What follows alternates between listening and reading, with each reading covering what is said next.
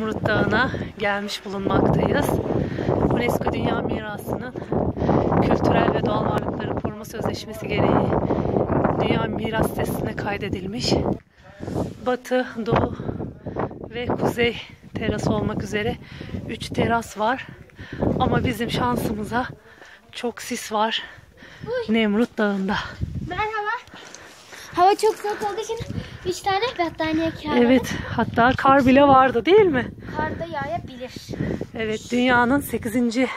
harikası olarak ilan edilmiş. Burası. Nemrut Dağı'na çıkıyoruz. Çok tepede, çok yüksek. 2150 metre yükseklikte. Şu an sis var. Çok ne kadar yüksekte olduğumuz anlaşılmayabilir. Ama şu merdivenler aşağıdan beri çıkıyoruz. Ve yukarıya doğru da şöyle çekeyim. Devam edeceğiz. Nefes nefese kaldım. Devam ediyor. Sen çık anneciğim. Evet. Hava çok soğuk. Burada battaniye veriyorlar. Nisan ayındayız.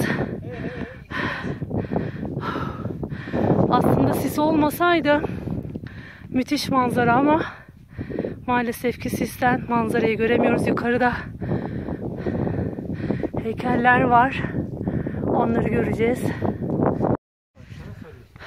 Bayağı bir tırmandık ve şu anda geldik. Ama sis var.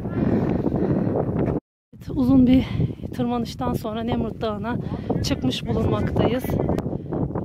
Şu an Doğu terasındayız. Doğu terasındayız. Buradan e, yol devam ediyor Batı terasına doğru. Ama Batı terasında kar olduğu için şu an Nisan ayı o tarafa zannediyorum geçemeyeceğiz. E, burası e, UNESCO tarafından Dünya Kültür Mirası listesine alınmış.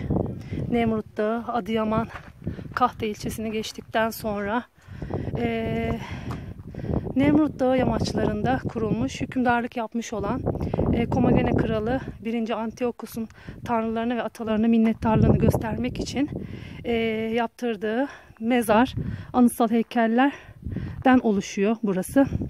Helenistik dönemin en görkemli kalıntıları burası. Pers ve Grek uygarlıklarının birleştiği güçlü bir krallıkmış Komagene Krallığı. Evet şimdi burayı geziyoruz. Ee, bu dev hey- heykeller, şu yukarıdakiler sisten çok net anlaşılmıyor ama 10 metre yükseklikte.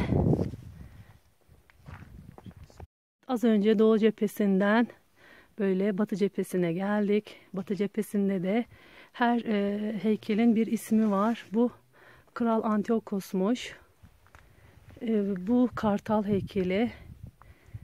E, hemen şu aslan heykeli.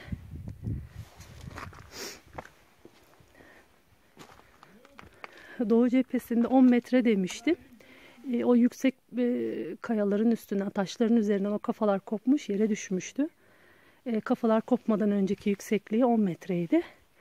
Burası Batı cephesi.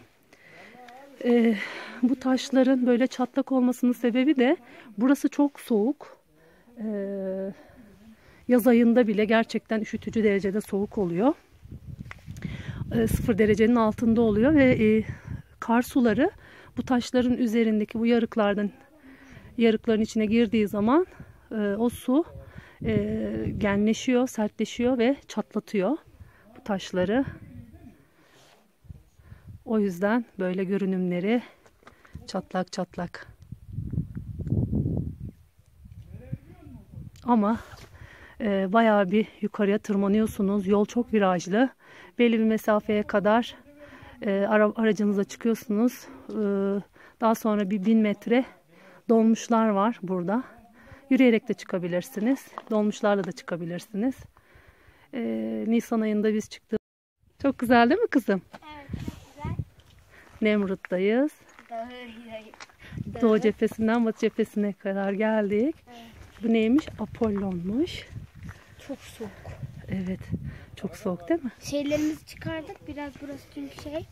Evet. E, Battaniyeyle çıktık. Evet sis, geçti. İlkim Naz geç.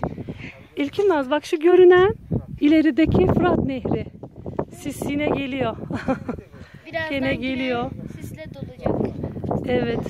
Çok soğuk ama değil mi? gibi.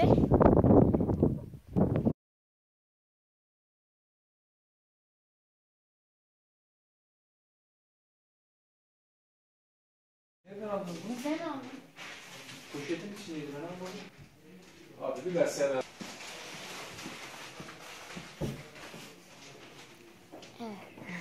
Evet Nemrut Dağı'nda burada satış mağazasındayız. Evet aldık bir tane. Nemrut Dağı nasıl? Beğendin mi? Çok güzel ama Çok soğuk. yani şöyle söyleyeyim gelirken yani yolunuz düşerse bayağı bir kalın giyin. Çok Ama soğuk. biz ilkbahar mevsiminde Ama geldiğimiz değer. için öyle oldu İlkim. Ama değer yani gelmeye. Yazın değil mi? Yazın. Gelmeye değer. Olsun. Evet Nemrut Dağı'na çıkmış bulunmaktayız.